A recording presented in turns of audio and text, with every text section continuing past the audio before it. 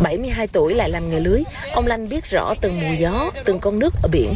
Và không phải ngẫu nhiên, ông gọi khoảng thời gian này là mùa rác nhựa ở biển. Mặt nước biển trước làng, chỗ nào cũng đang kín, đang dày bởi rác thải nhựa. Thậm chí người trong làng ví đây là tấm thảm rác khổng lồ đầy ám ảnh. Rác ngập ngụa níu chân ngư dân mỗi khi phải lội nước ra tàu thuyền.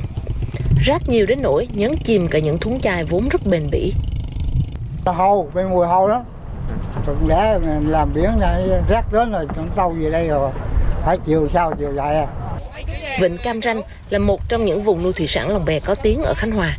Thức ăn để nuôi thủy sản chứa trong bao nhựa. Mỗi lồng nuôi, mỗi ngày có hàng chục bao, tất cả cho xuống biển.